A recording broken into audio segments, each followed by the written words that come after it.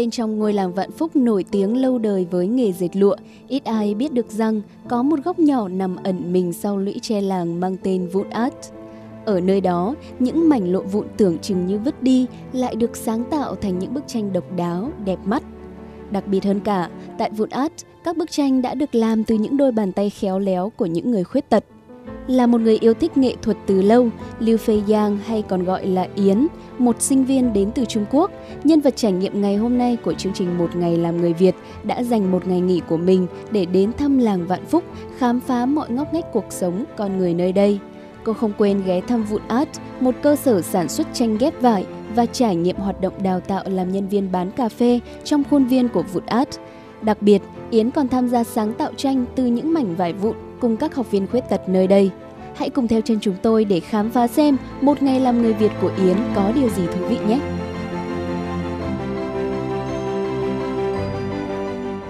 Chị ơi, sắp đến ngày sinh nhật của mẹ em rồi Nhưng mà em không biết tặng quà gì cho mẹ Chị có thể vừa ý tưởng gì cho em không ạ? Quà cho mẹ thì chúng ta cũng sẽ có rất là nhiều lựa chọn đúng không? Đúng ví dụ rồi. như là áo này, ví dụ như là khăn này Hoặc một số đồ lưu niệm chẳng hạn Chị nghĩ là nếu như em đang ở Việt Nam thì em có thể lựa chọn một đồ lưu niệm hoặc là một món quà mang đậm giá trị văn hóa cũng như là nét đặc trưng của Việt Nam chẳng hạn. Vâng, Em thấy ý tưởng đấy như thế nào? em thấy ý tưởng này rất là tốt Nhưng mà chị có thể giới thiệu cụ thể hơn về một quà tặng sinh nhật cho mẹ không? Thế thì bây giờ chúng ta sẽ cùng nhau tham quan và ở trong đấy sẽ có rất nhiều gian hàng để em có thể lựa chọn cũng như là có thêm nhiều ý tưởng nhé.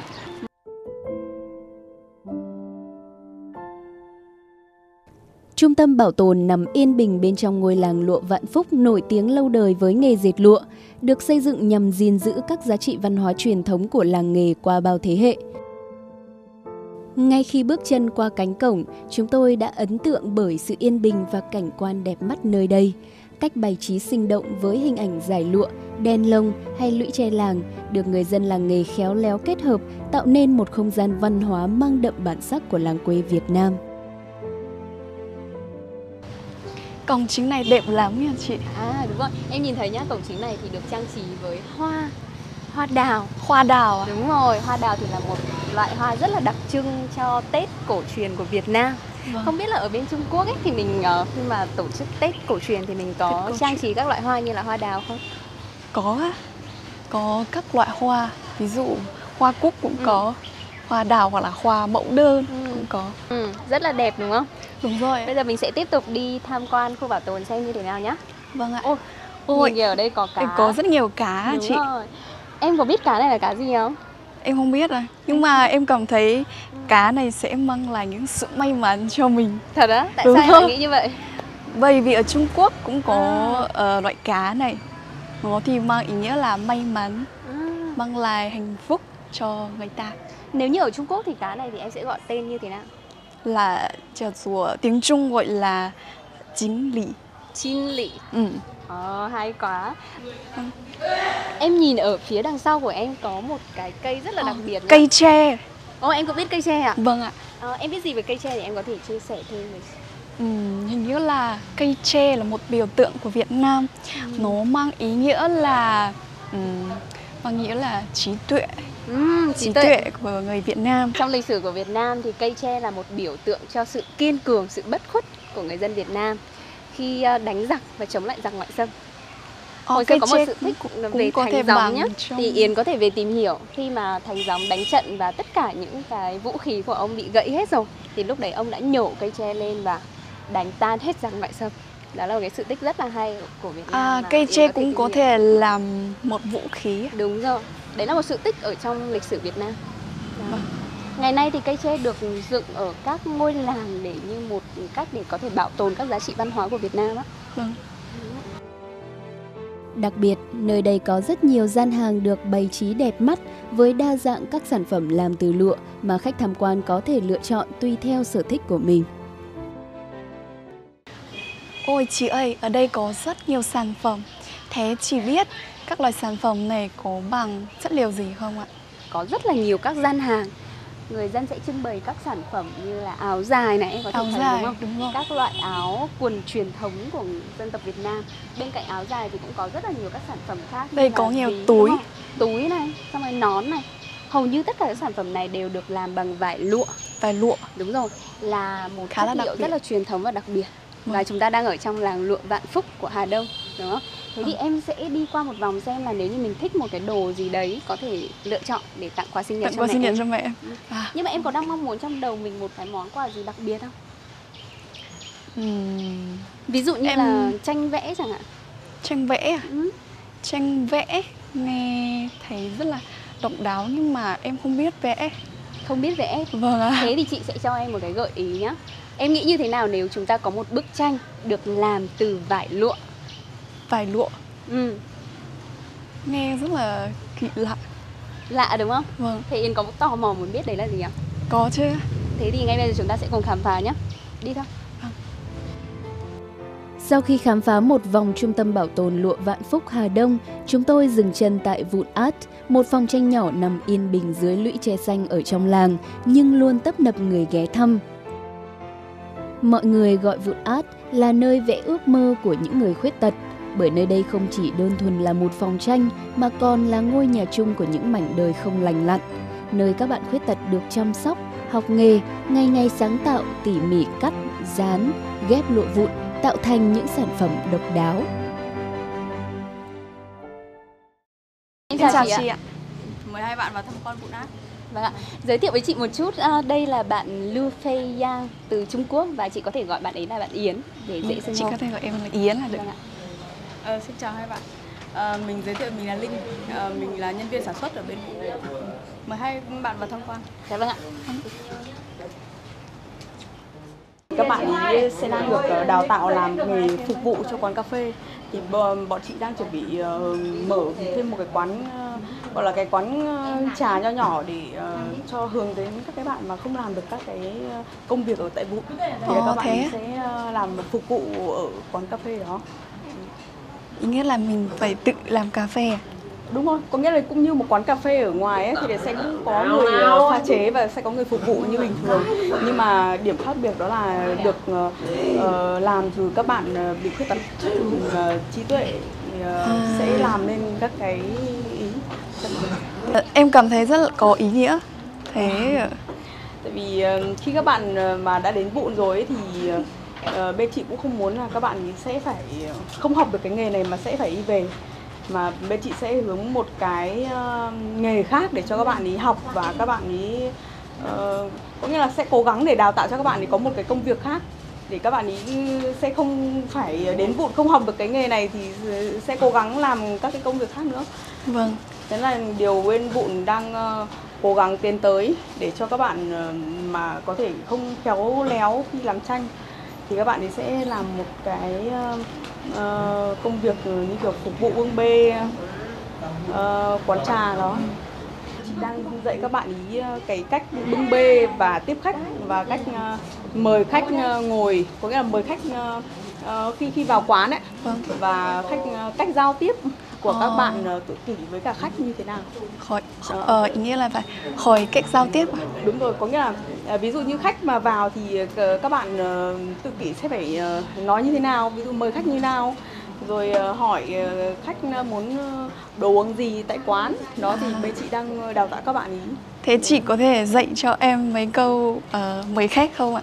Ờ, ok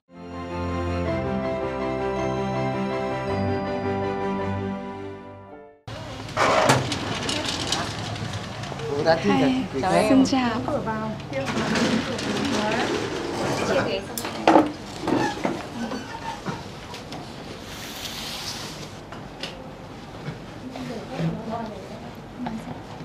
uống nước chị uống nước cảm ơn.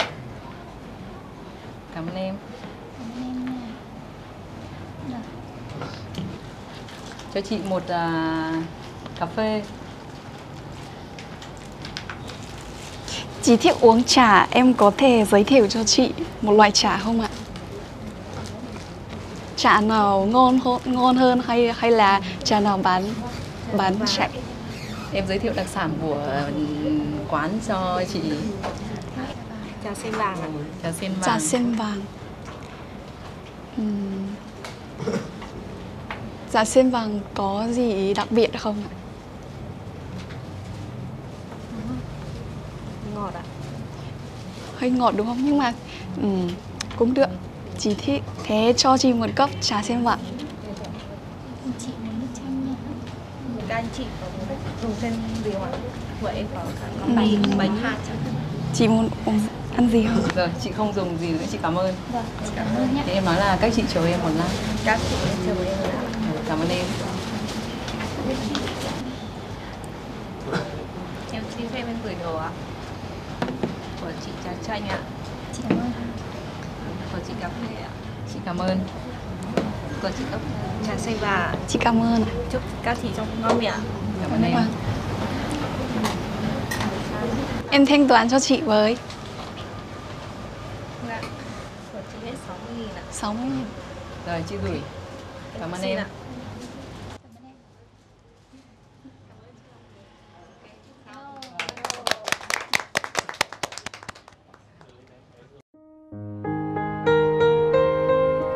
Sau khi được trải nghiệm hoạt động đóng vai làm khách hàng trong quán cà phê cùng với các bạn ở Vụn Art, Yến tiếp tục cùng chị Linh khám phá phòng tranh nhỏ với rất nhiều các hoạt động thú vị và ý nghĩa.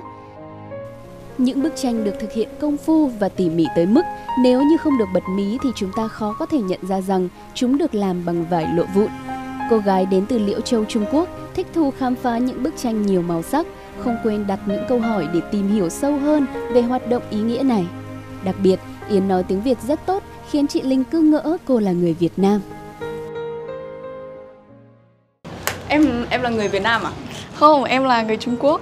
Em là người Trung Quốc sao em nói tiếng Việt giỏi vậy? Ừm, Bởi vì em đã học 4 năm rồi. Nhưng mà chị không tin người Trung Quốc. Thật. em thử nói vài câu Trung Quốc ví dụ như kiểu ờ, xin chào hay là Xin chào. Chị Chia sẻ rồi Cảm ơn Chia sẻ là cảm ơn Ờ. Ồ, có biết nói tiếng Trung này Ờ, xin chào là như nào? Ừm, Xin chào là Ní hảo À, ni hảo. Ờ.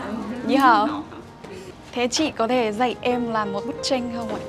À, chị vui vẻ thôi nói chung là có để em làm được một bức tranh ấy thì em sẽ ừm, cảm nhận được cái các cái công việc của các bạn tại vụ làm như thế nào và phải cần độ tỉ mỉ như nào nếu mà không kiên trì thì chắc là cũng khó để làm được đấy Rồi.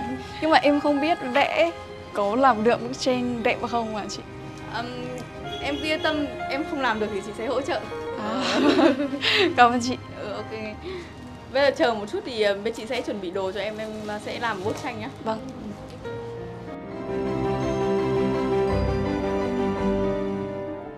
Bước đầu tiên mình phải làm gì hả chị? À, bước đầu tiên ấy thì mình ờ, sẽ lấy một cái dưỡng đó là cái hình mẫu ấy. Mình sẽ vẽ lên trên cái mặt sau của vải. Và sau em vẽ xong ấy thì sẽ em sẽ lấy kéo em cắt. Vâng. Đó. bây giờ em em sẽ ờ, vẽ đi. Em đây em đúng rồi. Tự như thế đây em em để giãn cái cái cái tay ra. Thế. À, sau em vạch theo. Đấy vạch theo. Bước theo như thế. Ừ đúng rồi. Cứ vạch mảnh tay lên Nó không ra bực lắm ừ tại vì cái vải này nó là vải à cái cái giấy này nó là giấy nến cho nên là nó Ờ. hơi khó mực nó phải- hơi khó Phải mạnh Đúng rồi. hơn vẽ mạnh lên một chút đấy Ờ. Bức này gọi là bức gì hả chị? Ờm, hồ gươm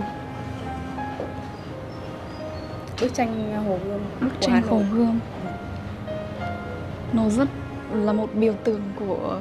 Việt Nam. Làm cái này phải tỉ cần tỉ mỉ không à chị? có. Đây như thế là đang tỉ mỉ.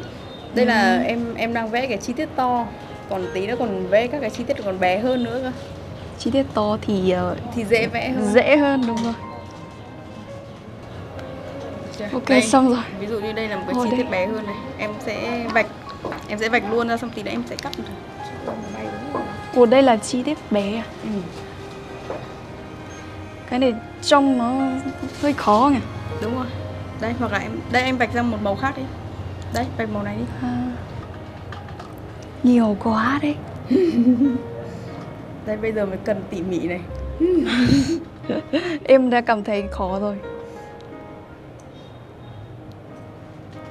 Cố lên tại vì um, chỗ chị ờ, vẽ nhiều khi các cái um, chi tiết ấy nó còn bé không thể nào mà vạch được ấy ừ. Sẽ phải tự cắt như cái mắt vừa rồi mà cô khanh cô ý vẽ đấy cũng là sẽ phải tự cắt thôi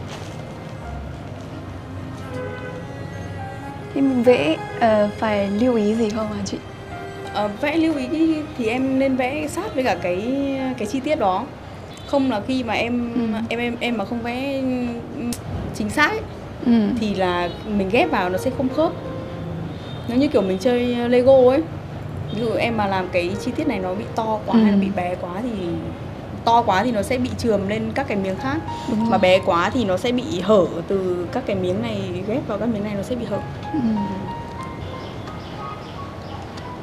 mình cắt thì mình mở cái miệng kéo ra để cho khi khi cắt nó sẽ không bị các cái đường đường nét nó bị vấp nhau ấy Ừ.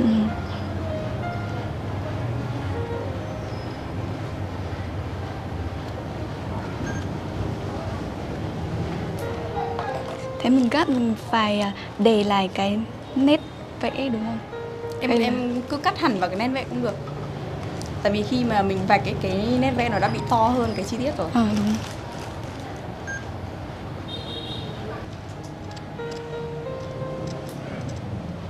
Ok, xong rồi. Chị cảm thấy em cắt được thế nào? ok rất tốt Đây là bộ phận nào? Là cái này đúng không hả chị? Là núi, có vẻ là núi. bước tiếp theo là mình sẽ um, dán vào cái nền này bây giờ em em sẽ bóc cái lớp um, keo mặt sau ra đây đây là cái Dán. giấy Bước thứ bước thứ ba là dán đúng không? đúng rồi định hình Định hình.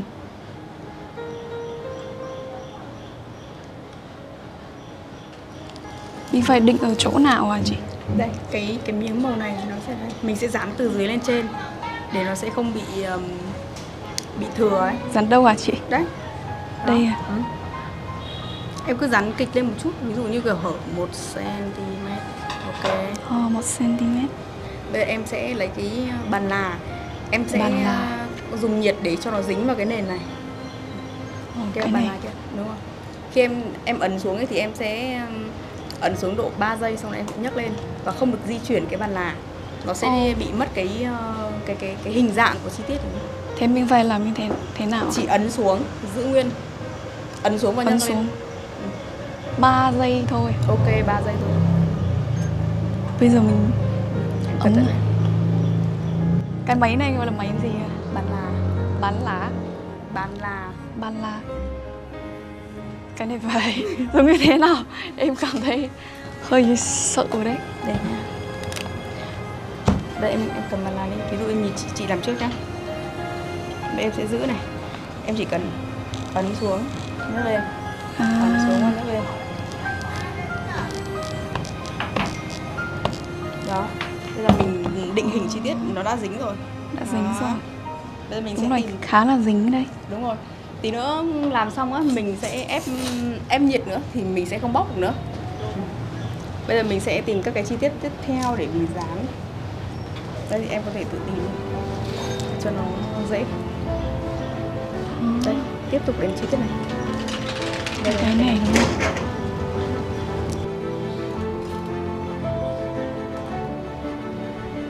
Nếu mà ấn sai chỗ thì phải làm như thế nào? sai thì cắt lại Phải cắt lại à? đúng thế Rồi. đấy bây giờ em em em cầm bàn lá ấy để chị giữ rồi em cầm bàn lá em em ấn xuống đi Vâng, em từ. em thử. rồi ấn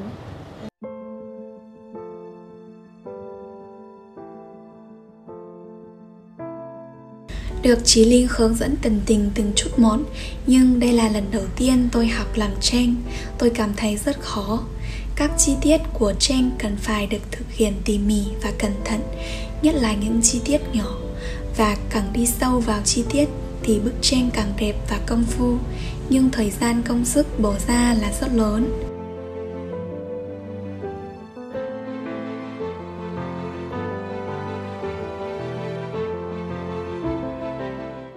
Bình thường mình hoàn thành một bức tranh phải mất bao lâu hả chị? um, nó tùy vào ờ, vào vào cái độ phức tạp của bức tranh.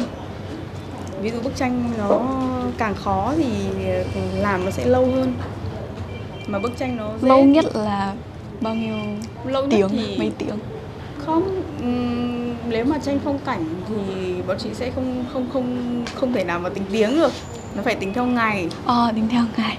trước chị ờ, chị có làm cái bức tranh ờ, Vinh Quy Bái Tổ của tranh tranh truyền thống của Việt Nam ấy làm mất ờ,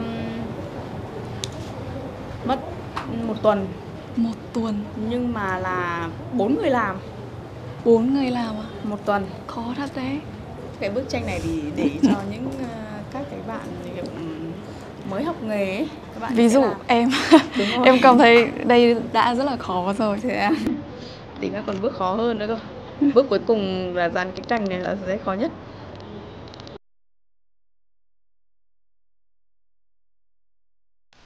Trong khi Yến và chị Linh đang say mê trong khoảnh khắc sáng tạo với bức tranh Hồ Gươm, thì tại Vụn Art, nhóm bạn khuyết tật vẫn miệt mài với việc tạo ra những tác phẩm độc đáo của riêng mình. Thông qua chia sẻ của chị Linh, chúng tôi được biết rằng những người bạn ấy không chỉ đối mặt với khiếm khuyết không may trên cơ thể, mà còn phải vượt qua những hạn chế đáng kể về tư duy và giao tiếp. Những giờ phút làm tranh có lẽ vì thế trở nên đáng trân trọng hơn bao giờ hết. Họ được đắm chìm vào thế giới của nghệ thuật, được tự tay mình tạo ra sản phẩm và đó cũng là công việc hàng ngày của những con người nơi đây. Tôi thắc mắc mình làm đã rất khó rồi Không biết các bạn khuyết tật học làm việc này sẽ như thế nào Chắc phải cố gắng và nỗ lực rất nhiều Tôi càng khâm phục hơn ý chí của họ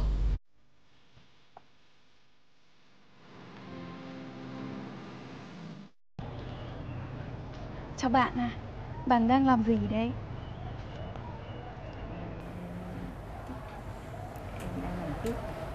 Em đang cắt tít Cắt tít à? ừ, Cái hình ảnh này rất là dễ thương Cái này là bạn tự làm đúng không ạ? Ừ, bạn cảm thấy ờ, trong khi khi mà bạn làm bức tranh bạn cảm thấy thế nào? làm đến tranh thì rất ờ, Rất- và rất khó và để cắt tiếp thì những ờ, cái to thì cắt dễ còn những cái nhỏ thì cắt hơi lâu Ờ, cái nhỏ thì khó hơn đúng không? Thế ờ, bạn cảm thấy ừm, bước bước nào thì dễ nhất? bước à, cắt tiếp thì dễ nhất còn ghép tranh thì khó nhất Kiếp kiệt thì khó nhất. Các bạn đã học ở đây bao lâu rồi ạ? chị học ở đây Được mấy năm rồi hay năm 5 năm rồi. Còn bạn ấy bạn học được mấy năm rồi? 10 năm. Một 10 năm. À. Thế ngoài ra à, làm bức tranh thì còn trung tâm này còn tổ chức những hoạt động gì không ạ? Chứ ngoài làm bức tranh ra thì trung tâm này còn còn đi à, hướng dẫn người ta trải nghiệm Ờ, hướng dẫn người ta trải nghiệm. Ừ. khách khách nước ngoài và khách đi du lịch Có rất nhiều người nước ngoài cũng để đến đây trải nghiệm đúng không? Ừ, Chào bạn. Bạn bạn tên là gì ạ? À, à, em tên là chị Trung Chị Trung. À, bạn bạn đang làm gì? à, em đang cắt tít ạ Cắt kít con Bạn- mèo Ờ con mèo. Bạn thích con mèo đúng không? con mèo. Bạn đã ờ, học ở đây lâu chưa? được 8 tháng rồi. 8 tháng rồi. À, thế ừm, tớ nhìn tớ cảm thấy bạn cũng làm được rất là ờ, rất là giỏi, rất là tốt. Chào bạn. Ờ, bạn đang cắt chi tiết gì ạ? Ờ, mình cắt râu con mèo Ờ, cũng là con mèo. Ừm, sau cái này là màu đen. Ừm, râu của nó Bạn ờ, học cái này bạn cảm thấy có thú vị không? Bạn rất là thích. có. Một cắt này hơi lâu thôi. Bạn cảm thấy khó không?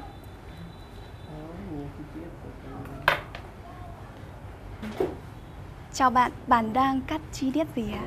mình đang cắt chi tiết ô tô ô tô à? Ô, cái này là màu màu gì ạ? Trông đẹp thế nhá. Cái này là màu xanh cốm màu xanh cốm à? À Ồ, cái này là gì ạ? Ô tô với cả cái là không bình thường ừ, bạn thích ừ, làm những bức tranh vậy bức tranh gì? Tranh này. Ờ giống như ô tô hay là những các thứ. Bạn cảm thấy thế nào khi bạn làm bức tranh? Mình cảm thấy rất là vui. Rất là vui. Thế bạn học ở đây lâu chưa? Mình học ở đây được lâu rồi. Được mấy năm? Một năm. Một năm à? à. Ừ, chúc các bạn làm bức tranh vui vẻ nha. Cảm ơn các bạn chào các bạn